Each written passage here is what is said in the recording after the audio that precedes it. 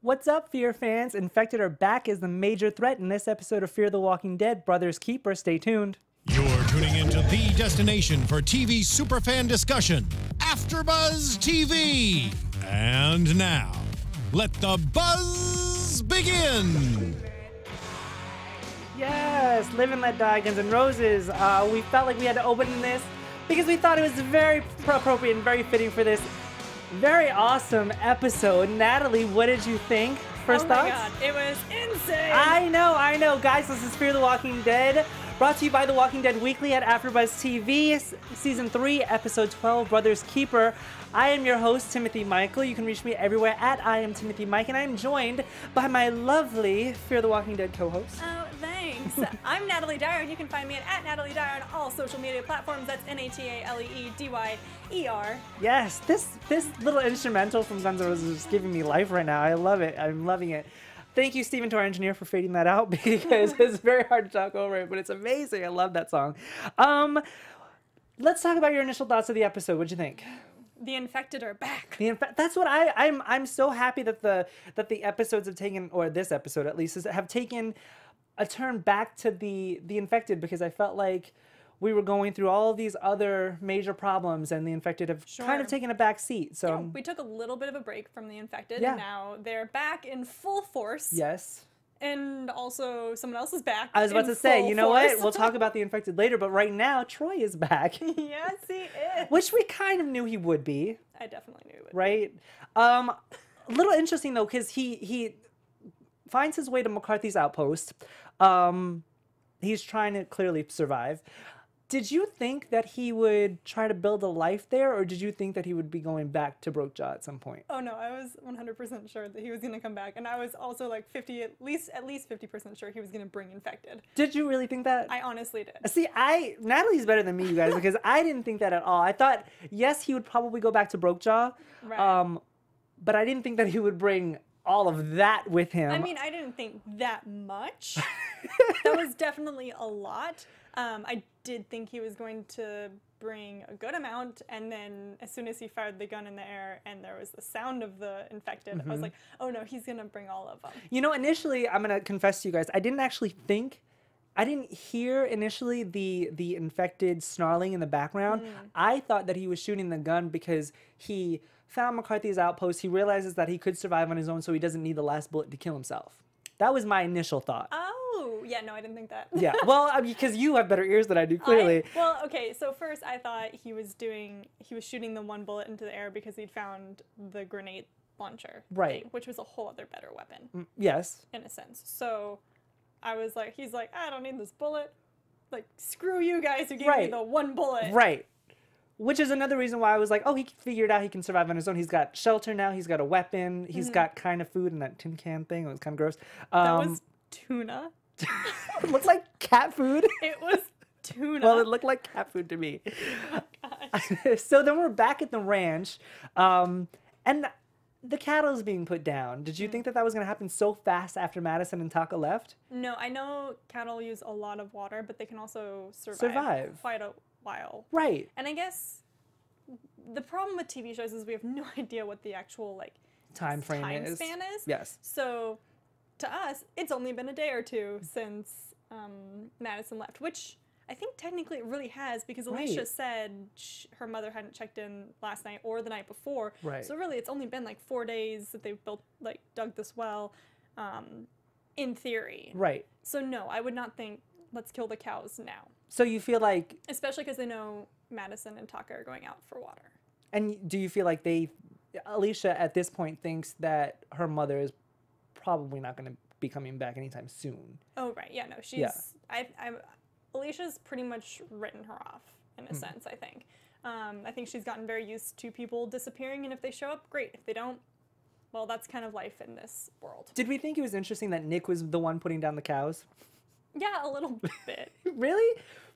Because Why- I just, why I would you think Nick was good? Nick is such a lover in in so many ways, senses and ways that, uh, like with the exception of like some changes this season, uh, so yeah, I, I didn't think it would be him. I just feel like they're doing a lot of comparison to him and Troy, so why not him be the one? You know what I mean? True, but I mean, It could have been uh, Crazy Dog as well. That's like- true. I so mean, there's there's a lot of people there who could have done it.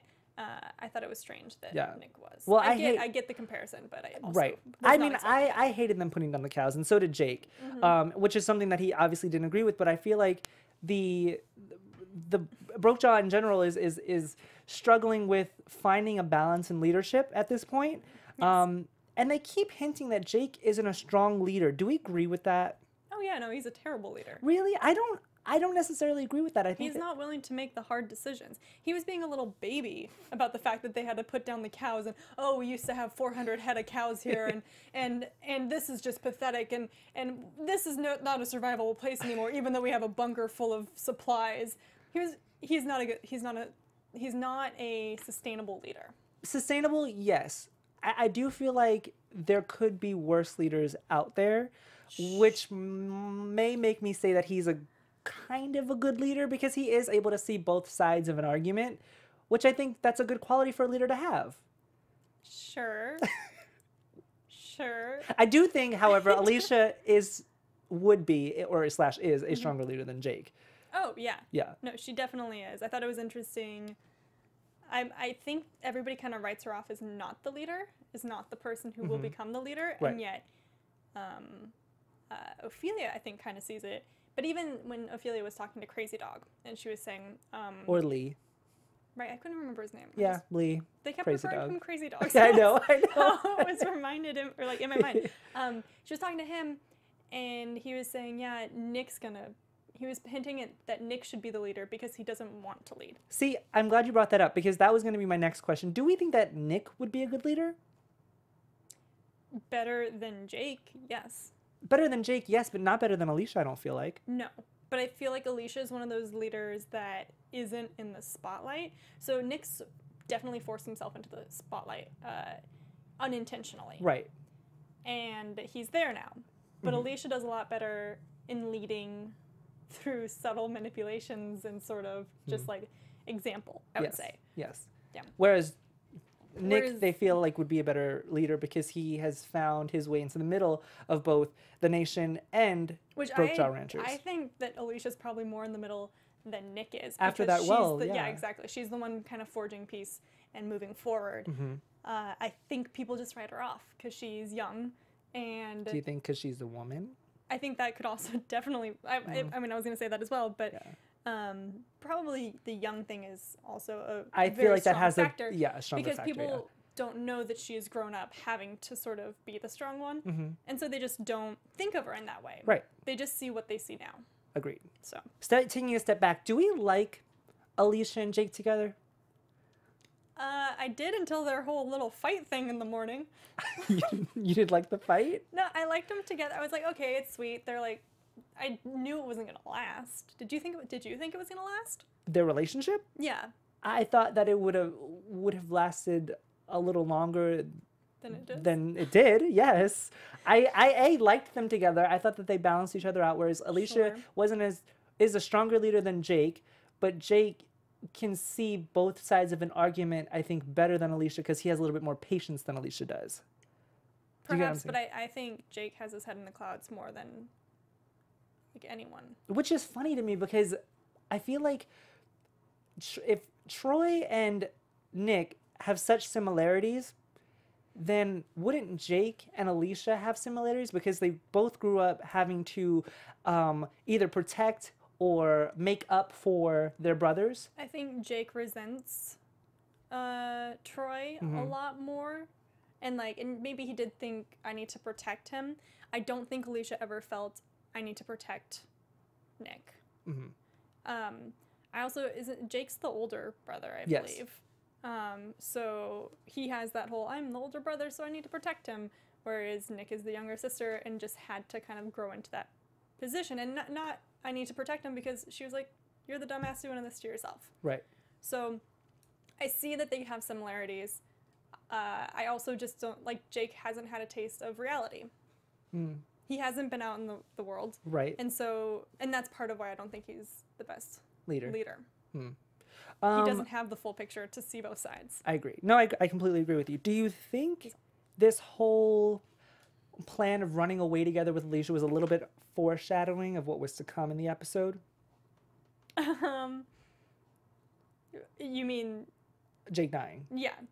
I I don't know how that would be foreshadowing it per se. I think it was more of just like the entire thing, the whole the fight they had where it was like were you like was was your mother just supposed to you know get at Otto and your brother at Troy and were you supposed to seduce me?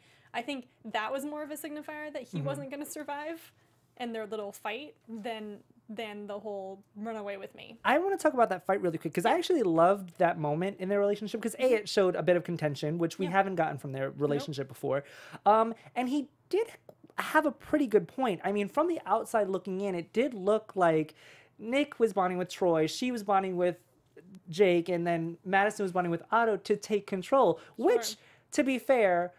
Only maybe a quarter of that was true because Madison was bonding with Otto in order to take control. Right, and I think Nick was technically bonding with Troy slightly to take control. See, I think Madison was bonding with Troy. I think Madison I was think doing double both. work. Were, yeah, she was, but I think Nick was also falling in line behind that. True.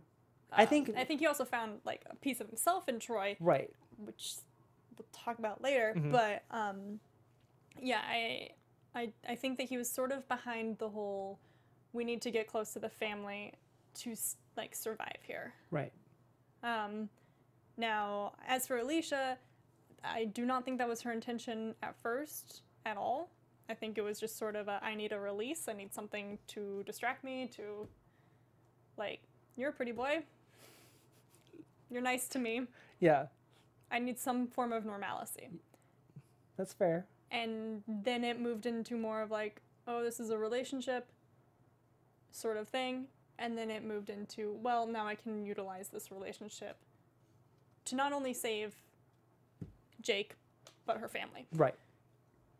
And I think he just got mixed up in that thoughts of, oh, no, you seduced me, then you fell for me, maybe. Right. And then this happened. I agree, but I do genuinely think that over time, Alicia did start to really like him. Oh yeah, no, I. I totally agree. I think that Jake just thought she was coming in order to seduce him. Mm-hmm. Like he he thinks that everything was malicious from the outstart, whereas hers was just a coping mecha- I would call it a coping mechanism. Right. Um, And so maybe he did sort of take advantage of her, and she sort of took advantage of him that first night. That's sort of it was. A, It was a two-way two-way street. street Yes. in that situation. Agreed. Yeah. Yeah.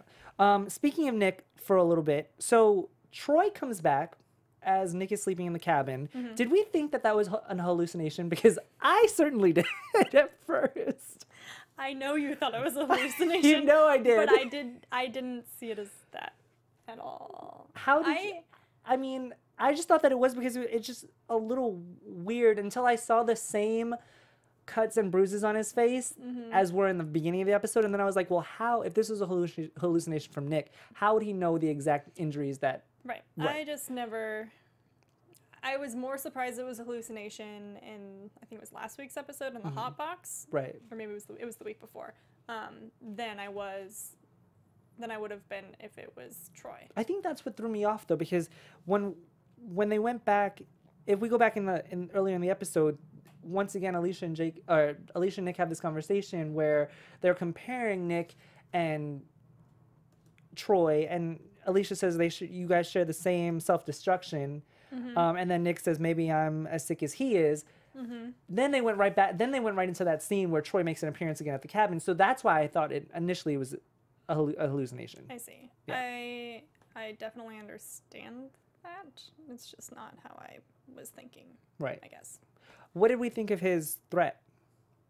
Which oh the um that something's A coming. reckoning is coming from the desert. Something's coming. I thought it was a little over uh, dramatized at the beginning. This is my initial thought. I was like, oh, he's being dramatic. Like, what could possibly, what could he possibly do by himself? I mean, knowing Troy, I should not have underestimated him, but I honestly had no idea what he could have been bringing. I I mean, I think at that point I kind of I already knew that he would be releasing Right. The Kraken. Horde or something. I knew he had some form of plan that was not only destructive toward um, you know, I, I honestly thought he was sort of coming after Nick a Mm, That's- little bit. Right. Um, but I knew that whatever he was doing was going to affect the entire camp. I was also like fairly certain that it would be a horde because um, because of him shooting the gun earlier. Oh, and, and hearing them. Yes. Yes. So I, I had I had a strong feeling that that was going to happen. In addition, they have been too safe at this ranch for too long. So For something not to happen. for something not for particularly infected not to happen. Right, because the infected, like we said in the beginning of the episode, have kind of taken a back seat. They haven't really made a, a dramatic appearance No. um, as they have in this episode. Did you understand Troy's logic of Nick saved him, so he is coming back to return the favor? Did you did you get that comparison? Because I certainly did not. I was like, Troy. I mean, Nick made it pretty I- clear that he was just doing what he needed to do in order to save everybody, not just Troy. And in just it just so happened that he did save Troy. I think this shows how much Troy has found um, like companionship in Nick. I don't yeah. want to say companionship because that's what I'm thinking of. Um, No, that makes sense. solace, maybe, uh, just like an understanding where Nick is very similar to Troy in certain ways. I'm not saying in the like, I'm gonna murder people, but I think that Nick is the closest to having any sort of understanding as to what's going through Mm-hmm. Troy's head, and I think Troy recognizes that. yes. Um, which is why he might be pissed that Nick killed his dad, but he's also, But he understands it. he understands it Right. More than Jake would probably. Mm-hmm. And and he does see it as like, well, you did save me. I think Troy is a very black and white sort of thing where it's like, well, you saved me, so I'll save you now. But next time, no, sort Right. of thing. Right. And that's what I'm saying. Which I think that's him. why he why, why Troy gets along with Madison so so well is because Madison is a very black and white person as well. yes. Yeah. Um, did you agree with Nick and uh, Jake going after Troy together? Um, yeah. I mean, I You don't think they maybe should have had more people go with them, or no, they just should have done what they needed to do, not dicked around for so long. what do you mean by that? I mean that I really okay, I guys, I really wanted Jake or Nick to kill Troy because if they did it quickly, they could have averted the horde. But they dilly dallied in the But- situation. But I feel like even after he shot off the last grenade with the grenade Mm-hmm. launcher, and then they took the they had this little scuffle, and then they took the the, the launcher away from him. They didn't do anything else to distract the horde from Mm-hmm. No, going to the. they so they were already on their way, though. They could have fired another. They could have at least, at the very least, filtered off some of them. Yes. A good portion of the horde. Mm-hmm. They could have been like, hey, look, here's another loud noise off to the side going down this other road. Mm-hmm. Would you maybe like to go that way? Right. I think the writers could have done a little bit more clarifying because they could have easily been like, it, could have been just a one line of, To be we fair- Mm-hmm. don't have any more grenades. That to be fair, though, I, I really wanted them to just shoot him the minute they saw him with a grenade launcher after they saw the first sound. from that that high up, I don't. I do not give a flying you know what? fly. Um, I like I would have if I had seen that seen he had a grenade launcher and he's the one who's leading him toward him. My first instinct would be shoot him now, get the grenade launcher, and turn him the other way because that one that he just fired off Mm-hmm. wasn't enough to keep him going down to the to the left. Right. So they could have averted it to the right. And it was only until But he shot the last one. and he was like, "I'm gonna kill you! I'm gonna kill you!" And he's like, "You're not gonna kill me!" And he fires off the last one. That's what I'm saying. What did you think of Nick wanting to talk to Troy alone? What did you think that Nick was going to say to him to change his mind? If anything. It was already too late. He couldn't change his mind. right. So Do you think that Troy is just like essentially a sociopath and a psychopath? Or do you think that the lack of sleep and the exhaustion had a play in what he was doing? um, I think that this lack of sleep and the exhaustion made him delusional. Right. Um, and I, I do think that that had a play. It had a certain aspect to it, but also he came up with this plan to lead this horde here Mm-hmm. when he had rest. Well, he said that he hasn't slept. He hadn't slept in He two said he days. led him for two days and two nights, Right, which means he wasn't sleeping. but he'd already come up with the plan to lead him there.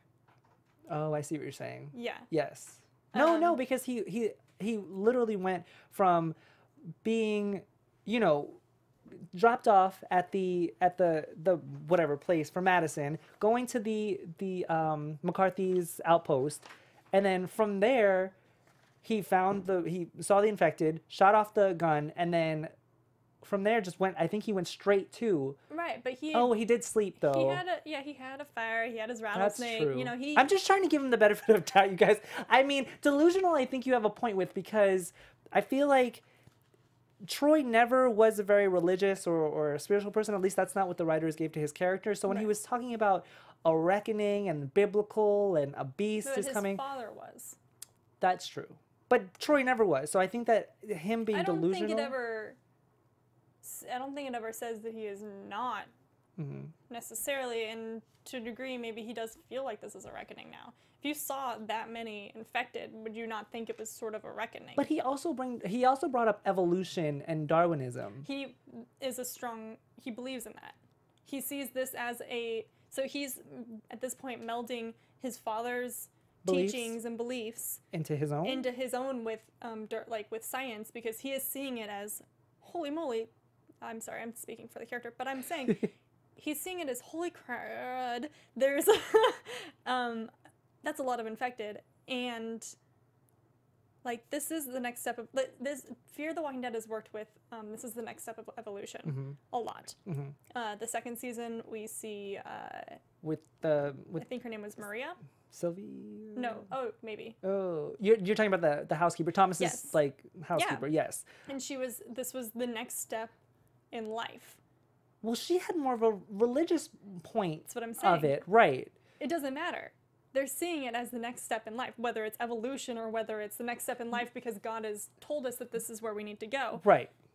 it's they're seeing it the same so it doesn't matter if it's science or if it's religion Right. No, I thing. I understood that. It just it, it just coming from Troy being such a I don't want to say a one-dimensional thought processed character because he he's not. He's a very well-developed character, but in his terms of thinking about the infected, it never came off as religious or scientific. It was just, hey, these are people that I can kill. It was very one note for for troy Troy. yeah, yes. because when we first in, were first introduced to him he's killing people to see how long it takes for the infection to hit right, but him I, to turn but I feel like he was just doing that to kill them. I don't think he really cared about how long it took. if he didn't care he wouldn't have taken such integral notes Mm, that's true. Good point. So I think he did care. It was something that fast. It, maybe he's not a scientist, and maybe he wasn't doing it in a scientific like format necessarily. But I think it fascinated him, and he does see it as the next step of evolution.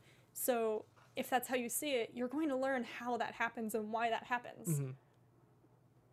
That's that would that's why it made sense to me. If you were in this position with, you know, zombie apocalypse, what would you think? Would you think more scientific? Would you think more religious? Would you think how would you feel about this entire situation? Oh gosh. Um. here's my thoughts while you get your thoughts together because I would think that it was a like a like a I don't want to say a plague because that has religious undertones, but more of like a like why a does a plague have religious undertones? because you know the ten plagues with Moses and the the Oh, well, Egyptians and all I that mean, stuff. or you could look at it the scientific way in the Black Plague.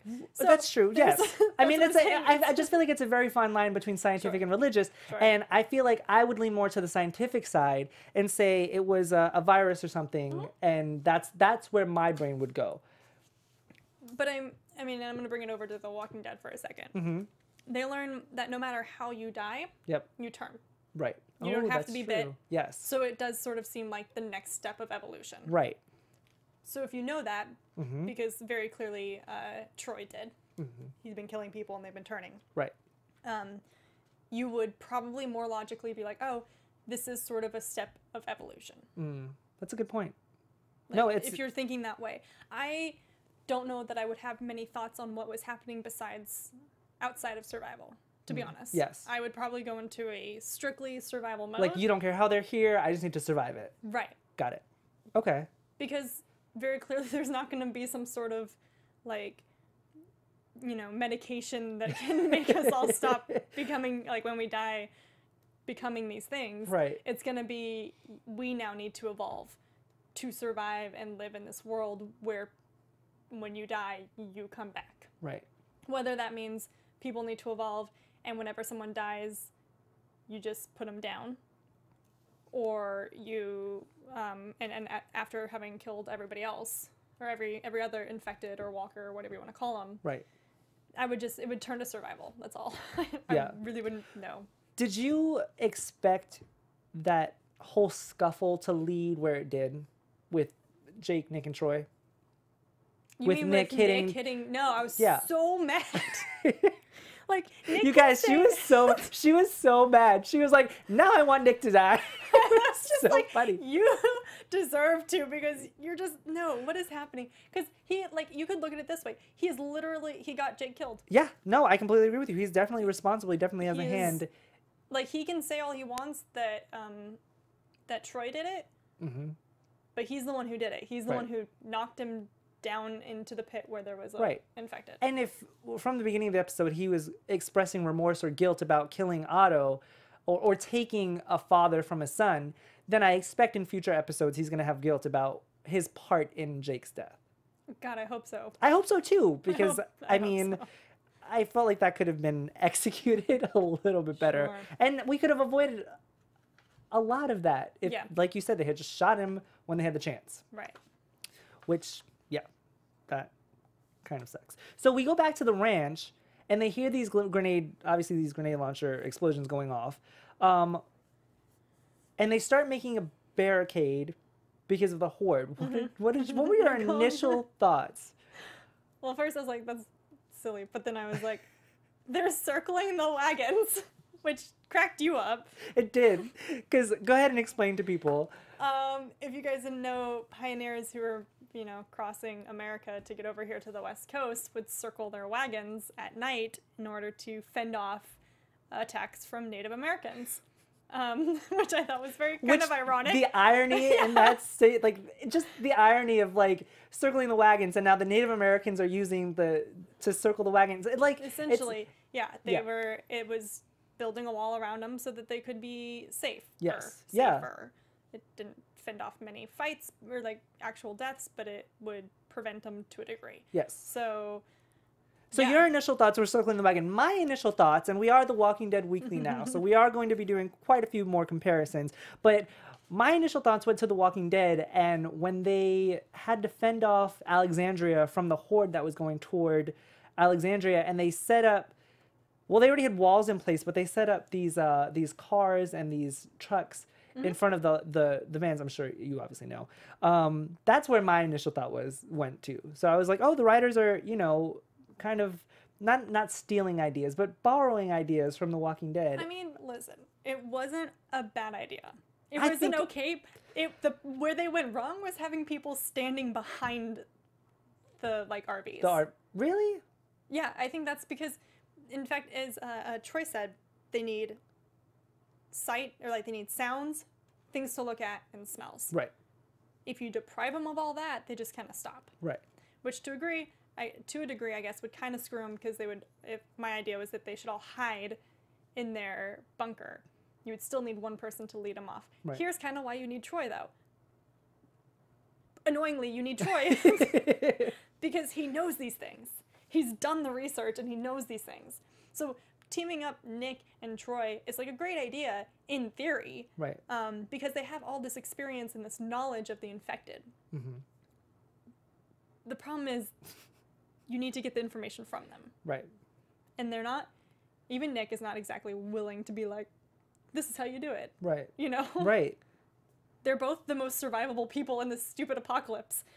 And yet they're both like the least helpful in a lot of senses. I felt like the whole barricade idea was was a bad idea just because I I saw firsthand, you know, as a viewer of the show, how big this horde was. So mm-hmm. initially, I was like, you expect Right. these RVs or trailers or whatever you want to call them by themselves, not even other cars up against them, to mm-hmm. hold off this huge horde. Like, I knew that that wasn't going to work.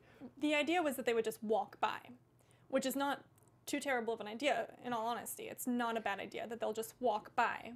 I don't know. I just took physics in high school, and I know that something with such force coming at an object is going to either obliterate that object or, or move it out of its way. Sure. And I knew that if they just moved one of those trailers, that was it. Here's what I was thinking though. I think what they were trying to do is funnel them. No, no, I understand. I completely understand what they were trying to do, Right. but that many things coming at one point. I don't point. think they knew that many were coming. I know, That's I know. thing. That's why I was saying firsthand. I saw, was. so that's why I'm like, that's So why I they thought were it was like, big. it's a okay. little, it's a horde, it's a little horde. Okay, cool. right. We'll just like do this. And yeah, I think they were probably expecting them to fail and to have them be pushed back, Right. at least to a degree. Right. They did not think it'd be that many that would potentially overturn um, the the the, the, the RV, right. Just taking a step back really quick. When Jake got bit, another um, just a Walking Dead um, reference um, is when they cut off Jake's arm. Mm-hmm. And I was like, if if only they had like you know a doctor or somebody um, that would be able to help him, or if somebody was with him that had more medical knowledge, maybe Jake would have survived. They didn't even put Do a tourniquet on it. what I, am just saying. Do you remember what I said? What did you say? They cut it off right here. He was bit right here. It had enough time to travel up anyway. See, I didn't He even would have turned. So they had to have cut it off up here, but they didn't. see. I wasn't even on that. Oh, when um Hershel Hershel got his leg amputated once he got bit uh, at the prison, um in The Walking Dead. But I didn't really. I wasn't contemplating whether or not the point of of amputation because I was like, even if they do it here, I'm sure, or right above the elbow. For those of you who are just listening, not watching, um, I am demonstrating, so you should go watch. um, I felt like that was a, far enough point for him to be okay. Yeah. But then they didn't even do a tourniquet, and I just wish that they had, you know, a doctor or somebody on hand that could, you know, help them, or Jake at least. I 100% agree. Um, but they don't. And also, I feel like they should have had survival instincts to tourniquet it. Or, I mean, Troy at least. right. Like, Troy had all that training. That's he true. should have been able to save his brother, and he didn't. So, yeah. I mean, yeah, I agree. Um, do you have anything to say or to add? Yep, I think we should thank our fans at home Okay. for watching. Yeah. No, I completely agree. Um, do We'll come back to this in a second. Let's first thank these guys. okay. Because I have a couple of last thoughts and we have predictions to do. But let us get through this. Okay, so I do want to go back to the to the to the ranch really quick, um, because once the barricade falls, Alicia thinks to go to the pantry, which I believe is something that they should have done in the beginning. Because if they had done that in the beginning, like you said, the walkers need stimuli. So they wouldn't they have just walked through the camp? Or they would have stopped. Stopped where though? Right outside the camp? They would have stopped in the camp. So they needed That's something. not good either. No, I know. That's what I'm saying. They would need someone to like lure them out Okay, of the camp. They wouldn't have been able to survive in that. Um, the bunker. yes. Right. Right. Okay. Okay, I see what you're saying. Okay, okay, I see what you're saying. What I thought was cool was seeing Alicia, Lee, and Ophelia, Lee or Crazy Dog, um, fighting through them. Did you get nervous that one of them was going to get bit again? Yes, I, I was. I mean, sort of. I have faith that my girls are going to survive. I have faith, so I'm going to let them, but yeah, yeah. I don't. So they get to the pantry. That's where they're probably going to stay until the next episode. Um, Troy, did were you surprised that Troy and Nick just stayed up on the hill? What were they going to do? That's what I was. That's what my thought It's like, process was. no, Like, I what would they possibly have done? Yeah. I wasn't. There was nothing they could do in that moment. Um, so Well, clearly from the the preview, they're gonna think of something. Right. Um, I let's let's let us go into predictions, and then kind of shut off some some thoughts. So let's go into predictions. And now, AfterBuzz TV predictions.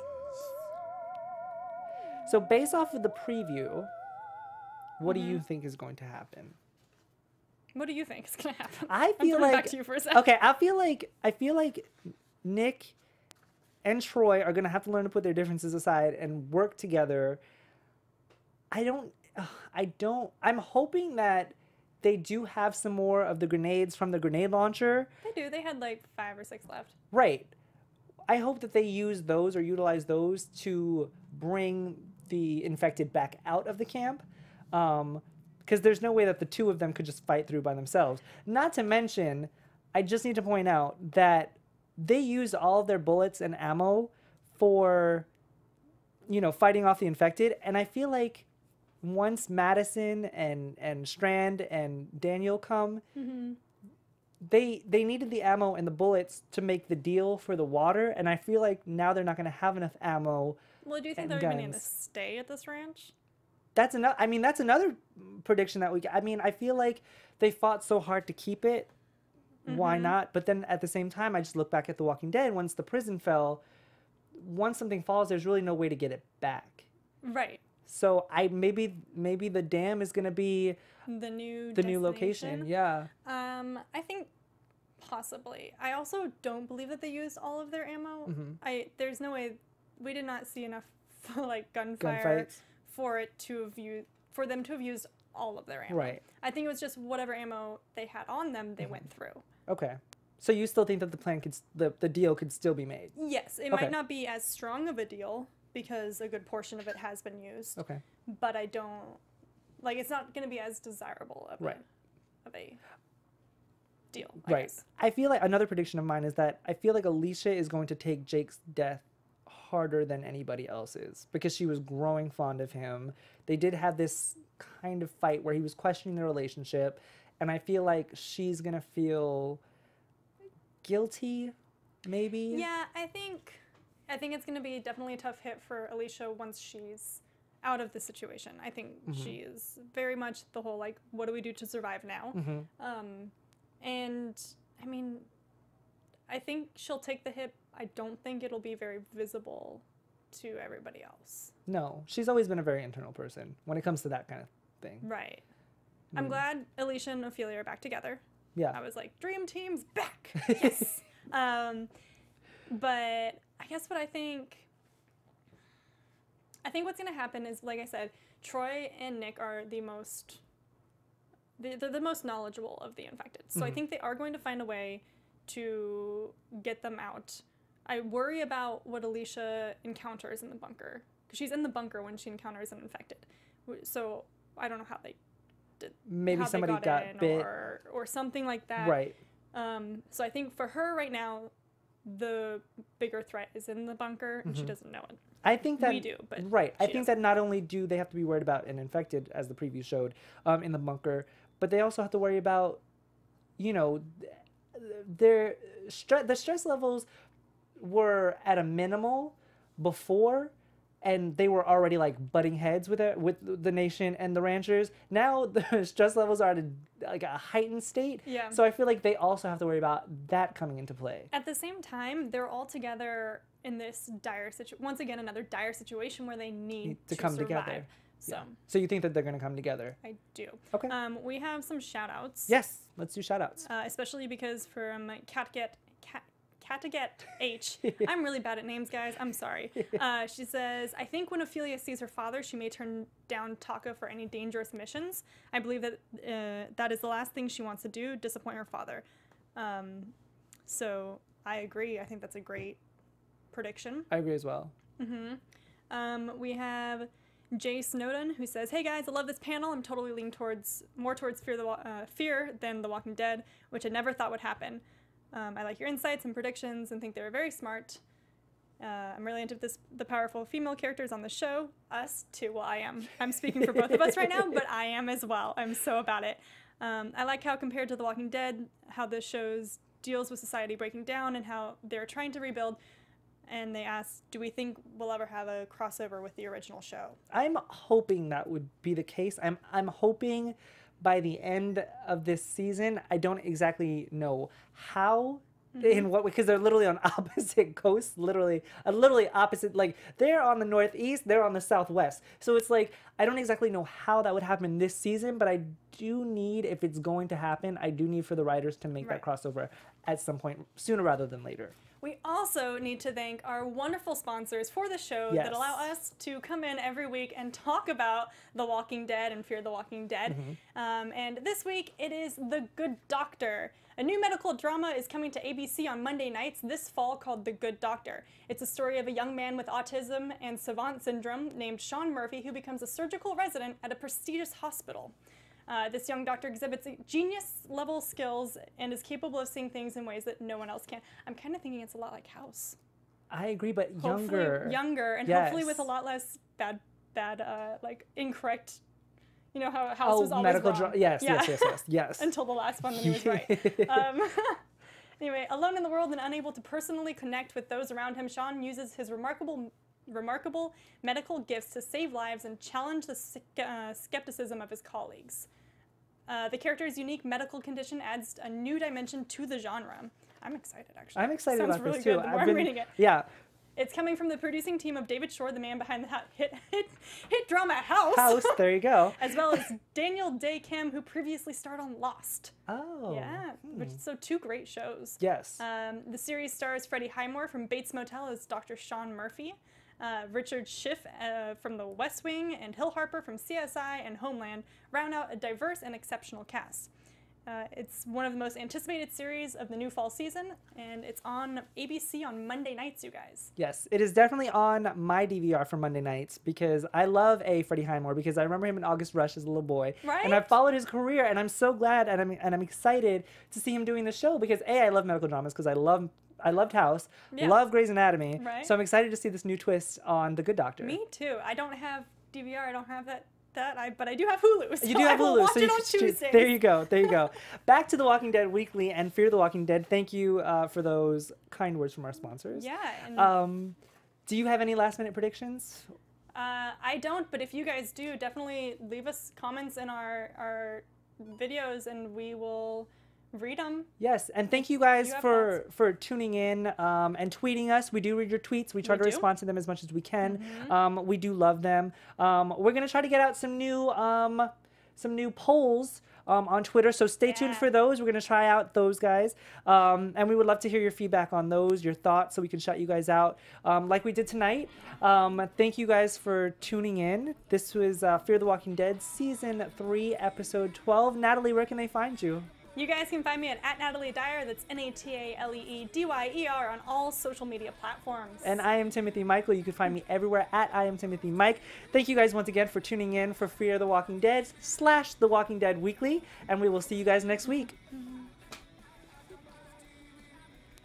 From executive producers Maria Menounos, Kevin Undergaro, Phil Svitek, and the entire AfterBuzz TV staff, we would like to thank you for listening to the AfterBuzz TV network. To watch or listen to other after shows and post comments or questions, be sure to visit AfterBuzzTV.com. I'm Sir Richard Wentworth, and this has been a presentation of AfterBuzz TV. Buzz you later. The views expressed herein are those of the hosts only and do not necessarily reflect the views of AfterBuzz TV or its owners or principals.